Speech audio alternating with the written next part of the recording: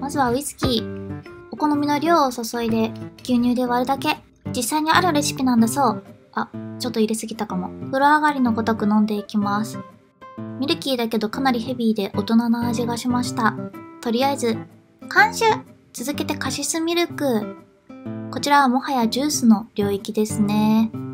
最後に冷凍ブドウを添えてあげると、デザートに早変わる。甘さが恋する乙女、胸キュンな気持ちになります。おいちー次はストゼロ×牛乳です。前代未聞の組み合わせ、一体どうなっちゃうの？私。行ってきます。香りは完全にレモン牛乳や。味は、うん、炭酸だければいけると思います。最後は一押しリキュール、アマレット。牛乳、コーラ、ジンジャーエール、何でも合う。これだよ、これ。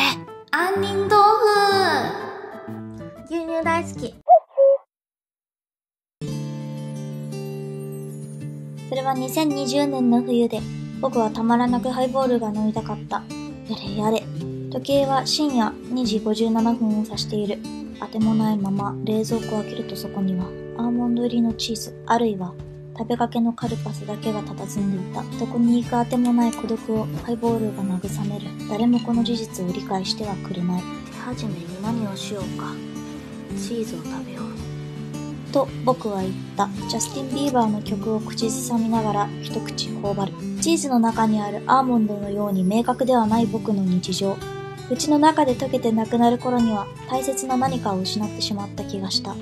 その大切な何かは思い出すことはできないし、思い出してはいけないような気がした。つまり、ハイボールを飲むと思考が錯綜するということ、わかるかい？アイスのみぶどう氷結を作ります。服部クラス、ぶどうアルコール、開封の儀、期間限定やで、ぶどうもどき、巨峰もどき、ぶち込めー鳥色変化、いつのかわからない。ぶどう、梅干しのごとくシュワシュワで草、シュワシュワとアルコールの鳴る。音、注いだらもう、別世界、アダムとイブが口にした禁断の果実に、打ち勝てぶどう、エッサホイッサー、素敵やん。かき乱せ、人類の友達、アルコール、いただきマンモス、おいしい！炭酸を吸ったぶどうがシュワッと弾ける。儚い。これ子供番組に登場していてもわからないレベルでジュースなんだが、もぐもぐリッチ。初恋のような甘さにめまい。おいち、おいち。言語化能力を失うレベルで、うまい、ジュースって感じでした。サイザコ、ぜひお試しあれい。無印良品のメロンソーダを入手した。アガルティのクリームソーダを作ろうと思う。にじみ出る昭和感。バニラ召喚。月に変わってお仕置きようなキャラグラス。瓶タイプのメロンソーダを初めて見た。普段は瓶ビールしか見ないから。甘美な酔いをグラスに注いでいく。クリームソーダがちょっぴり懐かしいのはなぜだろう。区切りなく透明に近い緑が満たされる。昔の恋はこのくらい透明だったのだろうか。下の葉っぱと同化して分かりづらいのは許してくれ。白いアイスクリームを溶かす。シュワシュワと音を立てて沈没したんだが、なぜかクレーターが完成したよ。足りないのか？というわけで追いましバニラ。できたよくわからないけどビールが好きだから、ビールが泡のごとく変化を遂げてくれたのだろうか。ふわりと溶ける甘いバニラに雲と気が抜けたメロンの透明な思い出の味。美味しい今、惨劇が起きています。なぜこんなに豆乳が山積みになっているのか、豆乳に囲まれたストゼロの弱々しい姿。犯人ですね、あなた。これの犯人ですよね。二つの小さな穴が犯人を物語っている。気持ちのいい朝だなぁ。豆乳日和野菜たちに水を与える涼しい朝、私は豆乳が腐る前に飲み干す義務を課されたのだ。昼飯のパスタにも with 豆乳。メイクをする前に豆乳で肌を整える。着替えた後ももちろん、豆乳。もういっそのこと豆乳の嫁入りするしかないのかな。許すまじ。噛まれてガチ切れする豆乳女。アルコールが恋しい。気がつくと私はストロングゼロを握りしめていた。恋の逃避行。おいしい今回は豚カフェに行ってきました。私の周りだけ豚ゼロ匹です。前回の豆柴同様に動物に干される自分、悲しみの果てにドーナツ作った？ベイブが食べかすに反応してやってきた。私ではなく食べかすにだ。美味しそうなイベリコ豚も続けてきてくれました。多分イベリコ豚じゃないです。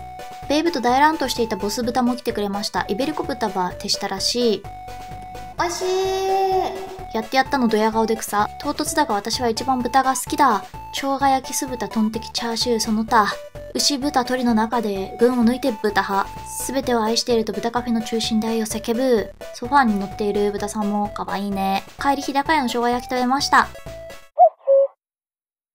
Monday, Tuesday, Wednesday, Thursday, Friday, Saturday.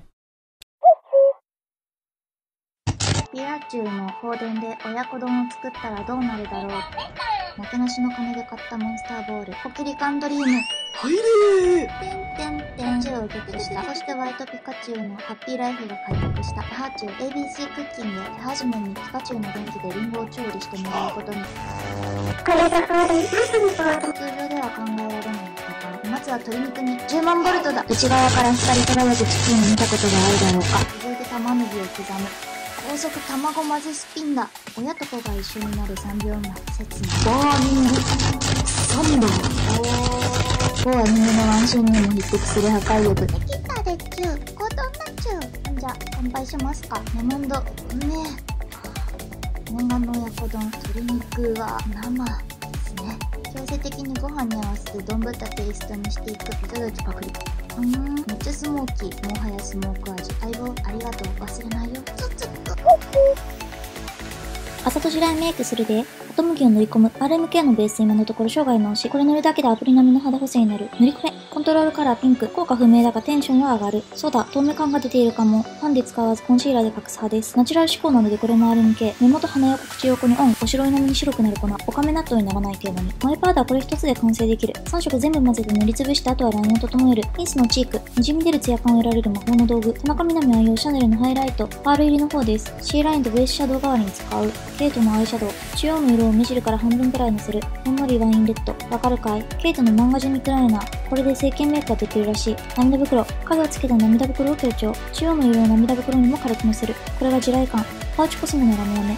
キンキラキンだ。ノーズシャドウで振りを出す。よくわかってないが鼻が高く見える気がする。ロブタンのルージュ。史上最強。このぷっくりを求めるのに24年かかった。最後に使用カラコンフランミー。雑誌のようなオイリー感を出すためにワンプッシュ。できた。アプリ使用前。乗れるぜ。じゃな。ジローなのにギローを食べに来た。東京の渋谷町田にあるラーメン屋だ。ここ、仰天屋は、家系ラーメンと二郎系ラーメンのハイブリッドラーメンらしい。ビールで空腹を加速させ、太麺さん、いらっしゃい。こ、これは、ニンニクパラダイスだ。一人称視点でお送りします。野菜をかき分けて麺を救出する。うんはぁ。二郎よりも甘みが強いスープ。麺固め油普通味濃いめニンニクマシマシ。これを体内に取り込んだらと思うとゾクゾクする。甘めのスープに酢を追加した味変も最高。しかもライスか野菜もし杏仁豆腐を選ぶことができた。カロリーはビールで流しコロボックル。おいしいでござんした。パンに海苔で海苔を塗る？ラペタ。美味しくなーれ、魔法の呪文、夏休みの DIY 教室。キラキラ宝石みたいに光り輝くアラビックヤマト。保湿潤い肌。いただきます。一口目は豪快に行こうぜ。あ、熊野プーさんと出会えました。おいしい皆さんお気づきだろうか決して酒で頭がいかれたわけではない。実はですね、これは、蜂蜜なんですよドッキリでした。ではありません。これは蜂蜜です。大好きなものをかき集めたらこの世の終わりの食卓ができました。内臓は泣いていますが心や舌は大はしゃぎ。アドレナリンマックス太郎です。レモンと強炭酸の刺激が同時に迫ってきて喉に着地する。家畜の飯ができました。ちょっと追いニンニクしときます。いただきます。も、もやし。もやしがもはやもやしの形をしたニンニクになってる。ひもて飯の代名詞です。若鶏の死を片栗粉で包んで輸送したものが登場です。おいしい男梅ハイボール参戦。肉厚チップス。もはやこれはポテチではない。そうだ。とんがりコーンだ。納豆ご飯が食べても減らないです食べても食べても減らないことに少し不安を覚え始める坂村です。昭和のボドゲ乾杯クラブとにかく飲む狂気のゲーム生ビールのコマ選択。スタートから全員酒を一杯飲む？スタート位置から全ては始まっている。酒をいっぱい飲む？いいのかこんなんで。私服じゃねえか。見るからに怪しい。行きますからの？トイレ特急券。これないとトイレすら行けない一歩昼にガス飲みって最強なのしてた？角杯の舞。居酒屋ガストのアジフライコロッケで揚げ物コンボ。炭を袋に流し込む。ほうれん草とベーコンはバターがとろり。これはアボカドの上にタルタルとエビが乗ったやつ。炭は胃袋に流し込む。ミックスグリルプレートランチカップでお得。2杯目の角杯キラキラしてる。ハッピーカラカラ祭り。イカリンガーマヨネーズたっぷり。最高なんだぜ。はい。カロリーハイボールには揚げ物がぴったり。またまた気づいたらピンポンしてた。とろり目玉焼きが乗ったハムカツは母ちゃんの味だ。衣がいっぱいでコロボックルとか言ってるのは記憶なくて草。そんな衣でさえハイボールで流しコロボックル。いよいよまとめて頼み出した。水のように飲み干せる境地に突入したようだ。ハイボールの仲間が増えたよ。やっぱり学杯が一番好きだと再認識。記憶にない突然のハイボールソング。その後の議論。甘じょっぱい味付けがたまらないんじゃい。酒って胃袋を肥大化させるんだなと改めて再実感した。は豚キムチ進むくんを作ります。お腹がすいた。香りをつけるためにもまずはごま油。玉ねぎ投下。ごま油の攻撃、えぐいて、玉ねぎを切るたびに涙を流しているのだが、どうやったら防げるんだろう。以前マスクをつけてみたけど、目の前が真っ暗になったサトシ見たくなってしまったのだった。いつもの、ここで今日は珍しくトリスハイボール。トリスと言ったら吉高由里子。甲羅剣ごとのヘビにピアスが好きだった。ライトな感じが強いのでサワー感覚で飲める。そしてワイが一番好きな市販キムチご飯が進む。酒片手にリズム取りながら炒める光景はチルアウト。ハチモンスとか流してほしい。完成したので盛り付けていきます。完全なる分量ミスに少し動揺。おやつどころではない。これは早めの夕飯フラグ。まろやかな方が好きなので卵の黄身をそっと落とす。できた豚キムチョモランマー。最近のブーム、コンビニ味噌汁。トロトロすぎてミロのヴィーナス並みに美しい。最強の中華料理屋って知ってる？ヒントチャオズ。そう、餃子の王将にギだ。朝日スーパードライ。なんだかワンフロア貸し切り状態なのです。お店側からビールと貸し切り結婚式開催してねっていうサプライズ？ブーケの代わりに餃子ってことか。なるほど。真ん中の中心で誓いの口づけを交わした瞬間、エビマヨが祝福に駆けつけてくれた。これももぎだ。超新郎側の知り合い多すぎん生を3つ、新郎のドッペルゲンガー？両手に酒ということはこういうことか。必殺、これがスーパードライの前というやつだ。麻婆豆腐で緩和。お酒の最後の一口って、うはーっていう満足感もあるけど、夢の国の帰り道のように虚しさに突如襲われる時がある。なんでだろうね。多摩センター満点酒場でアルコール摂取してきた。札幌黒ラベル最近よくお会いしますな満点ポテサラ、サラダに邪悪な花びらが咲き誇ってる。ただでさえデブ街道全力走行中なのにこれはやばいって肥満体型の小学生の味がする。脳内花畑。消化活動内臓に咲いた脂肪という名の花は無事に沈み消しました。こういう感じのお店来た時は夢の国以上にテンションが爆上がりする。このテンション、養豚場の豚すべてチャーシューにする勢い。静岡県産のバケモンを連れてきました。酒を掲げよう関東やいろんな種類の串焼き盛り合わせいつも牛タンとレバーの見分けがつかない。幼稚園に行きたくないと車にシートに絡みついていた過去のワイのような鳥串。暗黒ワインのハイボールと最強レモンサワー。レモンを強制タイタニックさせる。丸ごと1個レモンが使われているので酸っぱい刺激複数山芋醤油漬けこれ殿堂入りです。こういうのが一番モテる。映画モテキの森山未来の味がした。久しぶりにアンティルドーンでもやりますか。おしまい。野口秀夫が2枚いかないくらいの絶妙な贅沢。この糸美しき肉の塊を鉄板の上に立て祭り候。肉に宿る白い油の線は牛たちが刻んできた歴史。今、最強の酒のつまみとなる。朝日スーパードライのミニ缶。気づけばいつも肉の横には彼がいる。本当はお肉を言い訳に彼に会う理由を探しているだけなのかもしれない。取り留めのない思いは、そっと胃袋の中に隠す。ビール君と優しい気持ちで肉をあやす。可愛い姿についついトングでちょっかい出しがちだ。愛情をかけて育てたのでとっても柔らかく、歯の通りがいいですね。ほんのりピンクがかっていて健康体。美人さんだ。ちょこっとだけ岩塩をまぶしてあげる。ご飯の上でそっと溶かす。溶けかけたバターが一番うまい。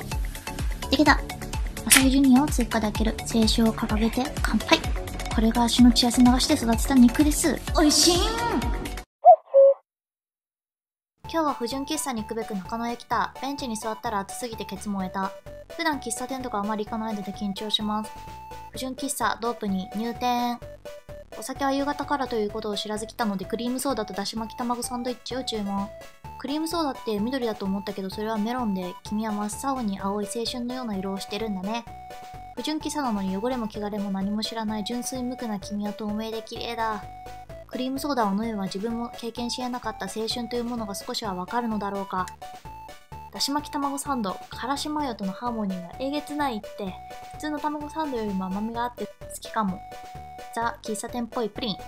喫茶店でプリンを食べるのは初めてかもしれない。あサイゼリアをイタリアン喫茶店にカウントしていいなら2回目。少し固めで弾力があって卵みが深い。美味しい